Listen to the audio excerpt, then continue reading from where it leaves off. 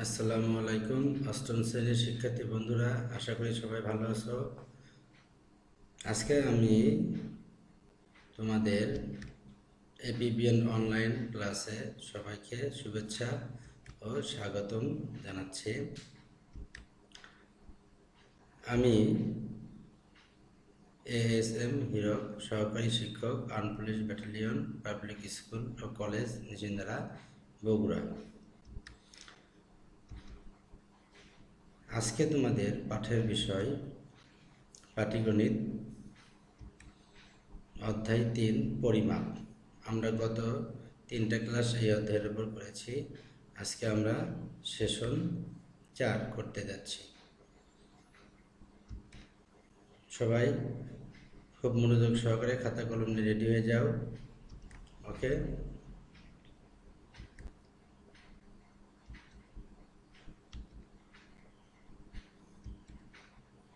আজকে তোমাদের পাঠ্য বইয়ের অনুসরণী তিন থেকে একুশ নম্বর অঙ্কটা আমরা সমাধান করব। দেখো, এখানে লেখা আছে, একটি আয়তাকার ক্ষেত্রে দৈর্ঘ্য প্রস্থের এক দশমিক পাঁচ কোণ প্রতি বর্গমিটার এক দশমিক নয় শূন্য। টাকা দরে ঘাস লাগাতে দশ হাজার দুইশো ষাট টাকা ব্যয় হয়। প্রতি মিটার দুই দশমিক পাঁচ শূন্য টাকা দরে ওই মাঠের চারিদিকে বেড়া দিতে মোট কত ব্যয় হবে? তো এখানে আগে আমাদের অজানা রাশি দেখো, সমাধানটা করার ক্ষেত্রে আমরা প্রথমে করেছি কি ধরি আয়তাকার মাঠের প্রস্থ ক মিটার এবং দৈর্ঘ্য এক দশমিক পাঁচ গুণন ক। কারণ প্রশ্নে দেওয়া ছিল দৈর্ঘ্য প্রস্থের এক দশমিক পাঁচ গুণ। এই জন্য প্রস্থ ক ধরে নিলে তাহলে দৈর্ঘ্য তার এক দশমিক পাঁচ গুণ হয়ে যাবে। ঠিক আছে? তাহলে আমাদের দৈর্ঘ্য ওয়ান পয়েন্ট ফাইভ অর্থাৎ এক দশমিক পাঁচ গুণ ক মিটার, ওকে? এরপরে আমরা মাঠের ক্ষেত্রফল। ক্ষেত্রফলের সূত্র কি? দৈর্ঘ্য গুণন প্রস্থ বর্গ একক। এখন আমরা সেই দৈর্ঘ্য হলো এক দশমিক পাঁচ গুণন ক এবং প্রস্থ হলো ক বর্গ মিটার। ঠিক আছে? বর্গ মিটার হয়ে যাবে।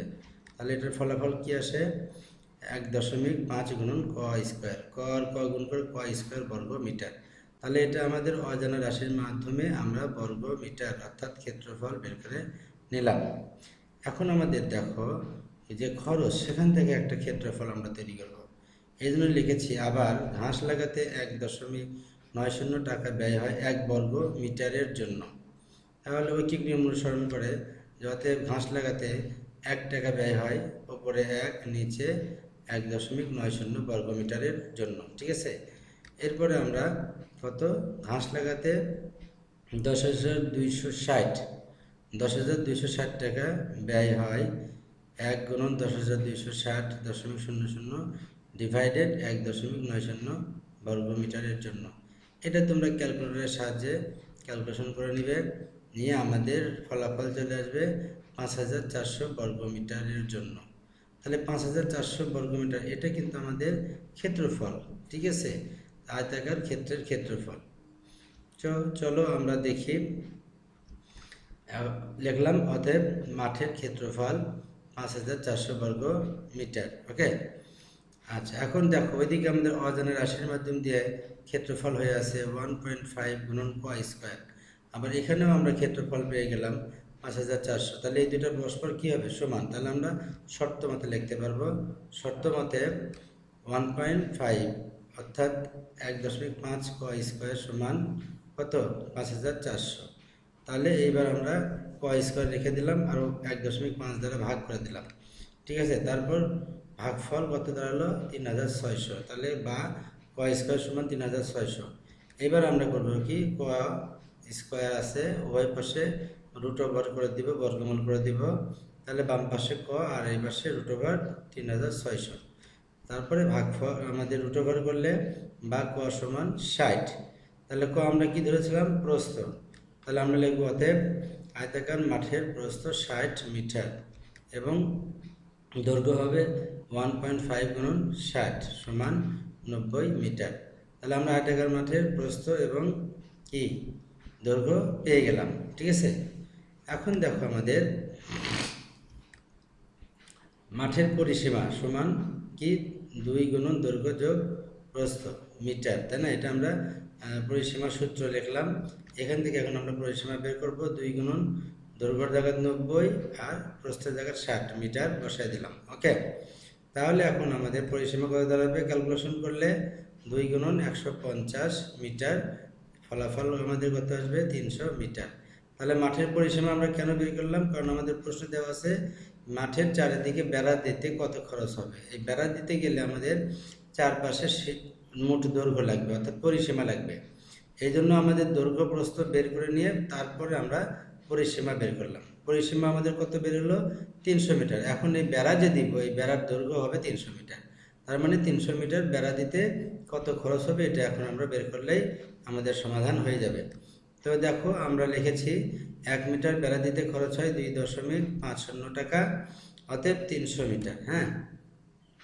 অতএব তিনশো মিটার বেড়া দিতে খরচ হয় দুই দশমিক পাঁচ শূন্য আমাদের দিলেও হয়, না দিলে হয়? তোমরা শূন্য দিয়ে নিও। দুই দশমিক পাঁচ শূন্য গুণন তিনশো টাকা। এটা ক্যালকুলেটর দিয়ে আমাদের গুণ করলে অ্যান্সার চলে আসবে সাতশো পঞ্চাশ টাকা। তাহলে আমাদের মাঠের চারদিকে বেড়া দিতে মোট খরচ হবে সাতশো পঞ্চাশ টাকা। ঠিক আছে? তাহলে উত্তর আমাদের কত আসলো? সাতশো পঞ্চাশ টাকা। ওকে শিক্ষার্থী বন্ধুরা, সবাই আশা করি বুঝতে পেরেছ একুশ নম্বর অঙ্কটা। অত্যন্ত সহজ, আমি আবার একটু শর্টকাট বলে দিচ্ছি।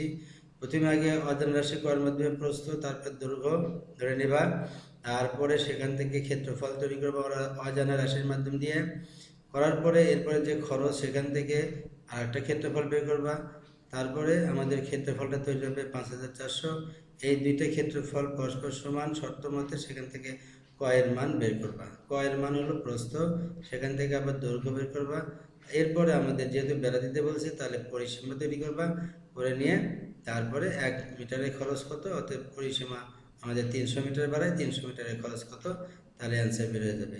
ঠিক আছে অঙ্কের ধারাবাহিকতাগুলো মনে রেখে করবা, দেখবে যে অঙ্ক হয়ে যাবে। ওকে, শিক্ষার্থী বন্ধুরা, চলো তাহলে আমরা পরবর্তী বাইশ নম্বর অঙ্কে যাই। হ্যাঁ বাইশ নম্বর অঙ্কটা দেখো। আমাদের দেওয়া আছে, একটি ঘরের মেঝে কার্পেট দিয়ে ঢাকতে মোট সাত হাজার দুইশো টাকা খরচ হয়। ঘরটির প্রস্থ তিন মিটার কম হলে পাঁচশো ছিয়াত্তর টাকা কম খরচ হতো। ঘরটির প্রস্থ কত? অত্যন্ত ইম্পর্টেন্ট একটা অঙ্ক। অত্যন্ত মনোযোগ সহকারে দেখে নিবে।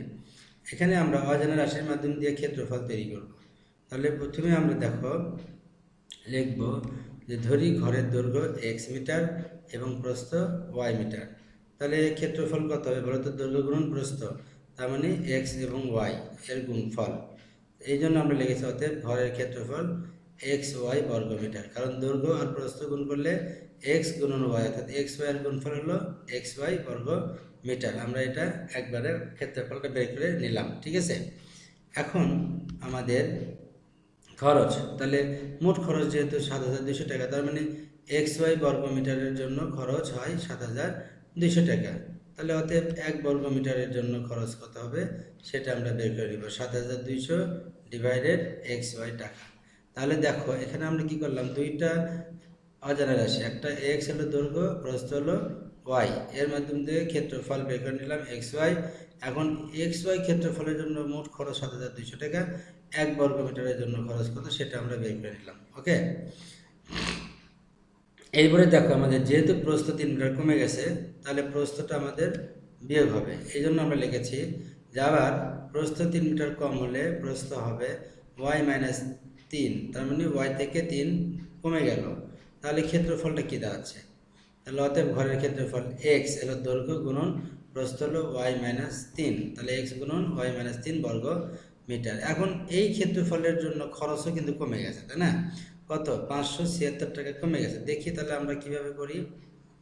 আমরা লিখেছি যে x into y minus three বর্গমিটারের জন্য খরচ হয় সাত হাজার দুইশো বিয়োগ পাঁচশো ছিয়াত্তর সমান, কিংবা আমরা বা দিয়ে লিখেছি ছয় হাজার ছয়শো চব্বিশ টাকা। ঠিক আছে? তাহলে অতএব এক বর্গমিটারের জন্য খরচ হয় ছয় হাজার ছয়শো চব্বিশ divided x into y minus তিন টাকা। তাহলে দেখো আমরা প্রথমে যে এক্স ওয়াই বর্গমিটার ছিল ক্ষেত্রফল তার জন্য আমরা এক বর্গমিটারের খরচ বের করে নিয়েছি। আবার কমে যাওয়ার পরে যে বর্গমিটার, সেখানেও আমরা এক বর্গমিটারের জন্য খরচ বের করে নিয়েছি। তাহলে খরচ কিন্তু ঠিকই আছে, খালি এক বর্গমিটার দুটাই বের করে নিয়েছি নিয়েছি, তাই না? তাহলে এই দুইটা খরচ সমান হবে। এই জন্য আমরা এইবার লিখেছি শর্ত মতে, এই এক বর্গমিটারের দুইটা খরচ পরস্পর সমান, ঠিক আছে? অর্থাৎ বাহাত্তর ডিভাইডেড এক্স এক্স ওয়াই সমান ছয় হাজার বাহাত্তরশো, অর্থাৎ সাত হাজার দুইশো ডিভাইডেড এক্স ওয়াই সমান ছয় হাজার ছয়শো চব্বিশ divided x into y minus তিন। এখন এটাকে তুমি ক্রস গুণ করো। ক্রস গুণ করলে আমরা কি করেছি? বা লিখে সাত হাজার দুইশো ডিভাইডেড এক্স ওয়াই সমান উপরে ঠিক রেখেছি, নিচে আগে এক্স ওয়াই ক্রস গুণ করার আগে আমরা নিচে গুণটা করে নিয়েছি হ্যাঁ? এক্স ওয়াই বিয়োগ three x sorry x y বিয়োগ থ্রি এক্স অর্থাৎ তিন এক্স আমরা এক্স দ্বারা গুণ করে দিলাম। এবার আমরা ক্রস গুণ করব হ্যাঁ? বা লিখে আমরা করেছি কি? সাত হাজার দুইশো গুণন এক্স অর্থাৎ বাম পাশের সাত হাজার দুইশো উপরের অংশ দ্বারা ডান পাশের নিচের অংশকে আগে গুণ করে নিয়েছি, বাম পাশে। এই জন্য আমরা লিখেছি সাত হাজার দুইশো এক্স ওয়াই মাইনাস তিন দ্বারা সাত হাজার দুইশোকে গুণ করলে একুশ হাজার ছয়শো এক্স সমান ছয় হাজার ছয়শো চব্বিশ এক্স ওয়াই। এরপর এক্স ওয়াইগুলোকে আমরা এক বাম পাশে নিব। সাত হাজার দুইশো এক্স ওয়াই মাইনাস ছয় হাজার ছয়শো চব্বিশ এক্স ওয়াই। আর একুশ হাজার ছয়শো এক্সকে আমরা ডান পাশে পার করে দিয়েছি, প্লাস হয়ে গেছে, ওকে? এরপর আমরা বিয়োগ করে ফেলছি, তা পাঁচশো ছিয়াত্তর এক্স ওয়াই আর সমান একুশ হাজার ছয়শো এক্স। এরপর আমরা করেছি শুধু এ ওয়াইকে রেখে দিয়েছি। ওয়াইকে রেখে দিয়ে, দেখো, ওপরে আমরা একুশ হাজার ছয়শো এক্স ঠিকই থাকবে।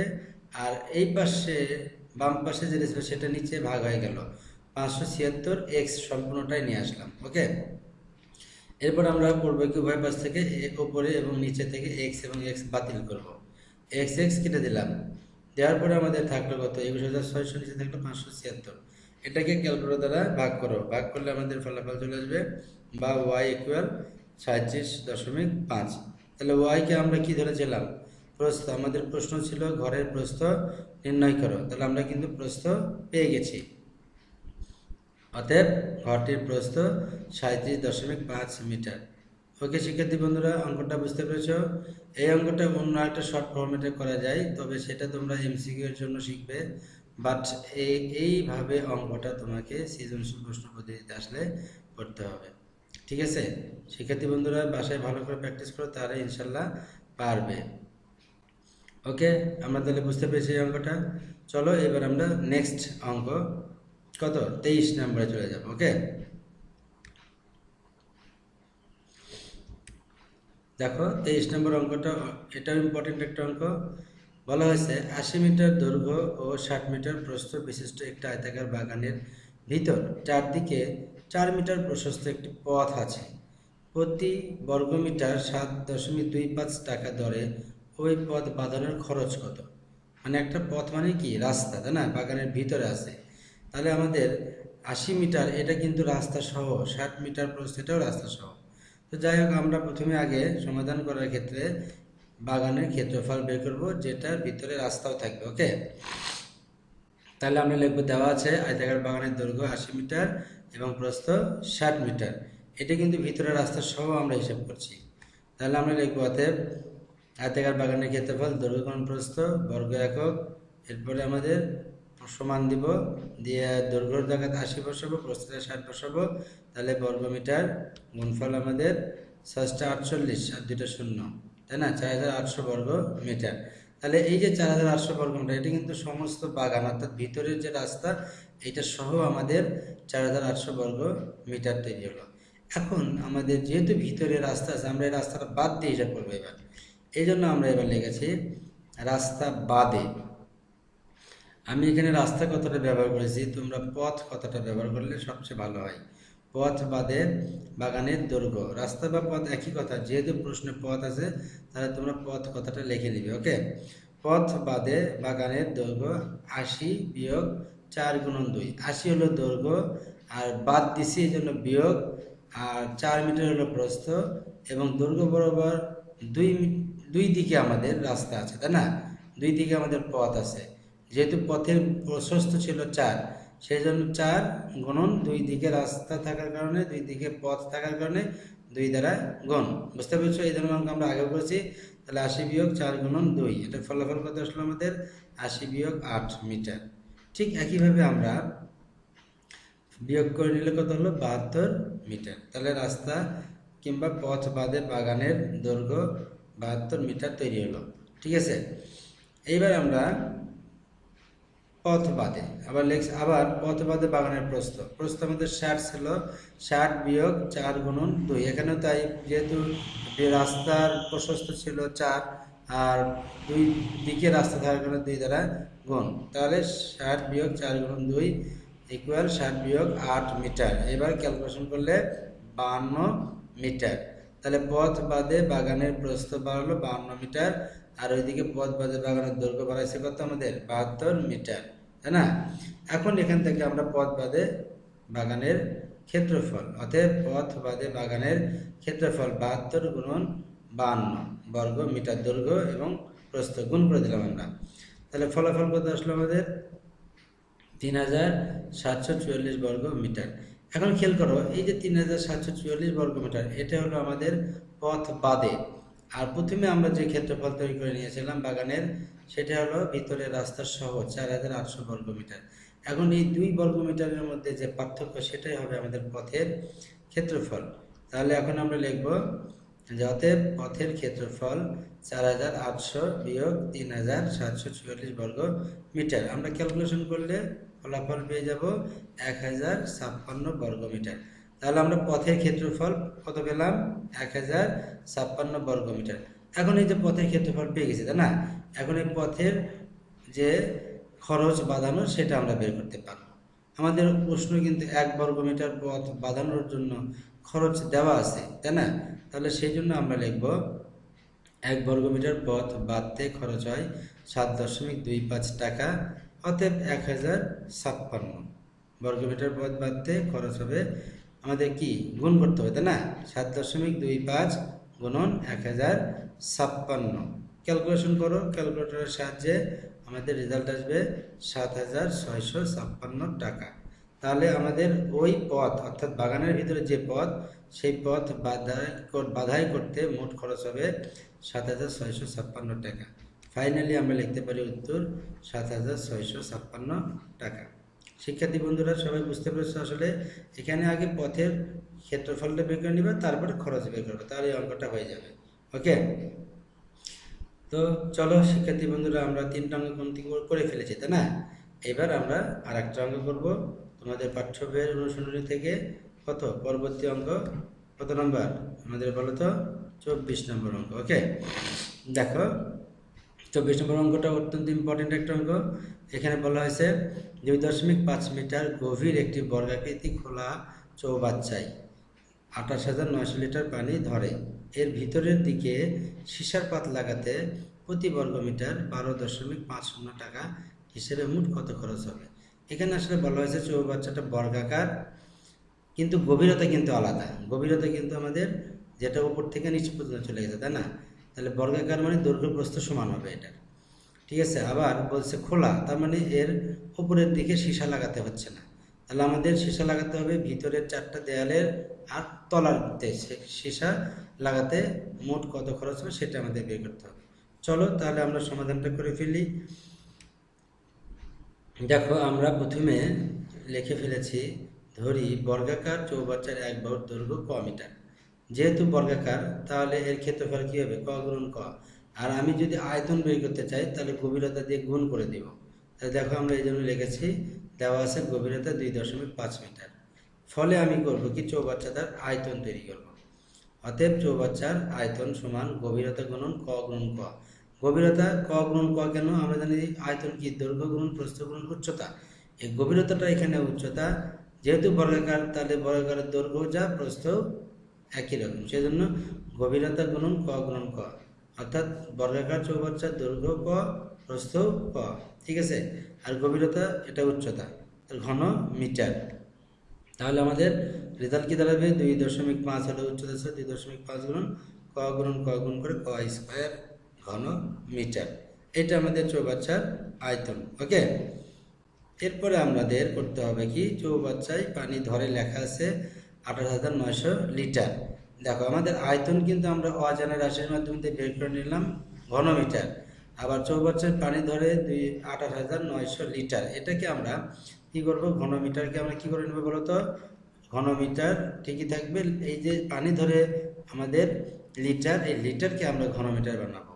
এই জন্য আমরা লিখেছি, দেখো, আমরা জানি এক হাজার লিটার সমান এক ঘনমিটার, অতএব ঐকিক নিয়ম অনুসরণ করে এক লিটার সমান উপরে এক, নিচে এক হাজার ঘনমিটার, অতএব আঠারো হাজার নয়শো লিটার সমান এক গুণন আঠারো হাজার নয়শো উপরে যাবে নিচে এক হাজার।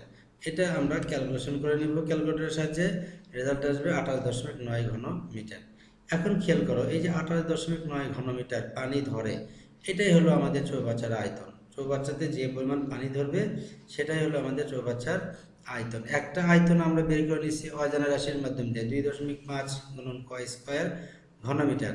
আর একটা আয়তন আমাদের বের হলো পানি ধরায় কতটুকু, সেটার উপর ভিত্তি করে আঠাশ দশমিক নয় ঘন মিটার ঠিক আছে? এত বন্ধু সবাই বুঝতে পেরেছ? ওকে থ্যাংক ইউ এখন পরবর্তী অংশ দেখো। আমরা এখন এই জন্য লিখব যে অতএব চৌবাচ্চার আয়তন আঠাশ দশমিক নয় ঘন মিটার এখন দেখো, এই দুই ঘনমিটার শর্ত মতে আমরা সমান লিখব। লিখব শর্ত মতে দুই দশমিক পাঁচ গুণন ক স্কোয়ার সমান আঠাশ দশমিক নয়। এটা এখন আমরা ক্যালকুলেশন করব বা লেখে ক স্কোয়ার রেখে দুই দশমিক পাঁচ দ্বারা ভাগ করে দেব। তারপরে আবার বা লেখে ক স্কোয়ার ভাগফল এগারো দশমিক পাঁচ ছয়, ঠিক আছে? তাহলে আমাদের এবার ক সমান রুট ওভার হয়ে যাবে। ক সমান রুট ওভার এগারো দশমিক পাঁচ ছয় এটা ক্যালকুলেশন করে আমাদের ক সমান দাঁড়াল তিন দশমিক চার। তাহলে ক সমান তিন দশমিক চার, অর্থাৎ চৌবাচ্চার এক পাশের বা বর্গ একটা বাহুর দৈর্ঘ্য বাড়ালো তিন দশমিক চার। এখন খেয়াল করো, একটা চৌবাচ্চার গভীরতা আছে, আবার তার বর্গাকারের কারণে একটা বাহুর দৈর্ঘ্য আমরা তিন দশমিক চার পেলাম এখন এরকম করে আমাদের চৌবাচ্চা কিন্তু চারদিকে চারটা দেওয়াল আছে, তাই আছে না?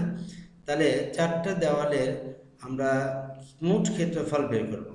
চার দ্বারা গুণ করব আর গভীরতা এবং এই এক বাহুর দৈর্ঘ্য। ঠিক আছে? এই জন্য আমরা লিখেছি, অতএব ভিতরের চার দেয়ালের ক্ষেত্রফল।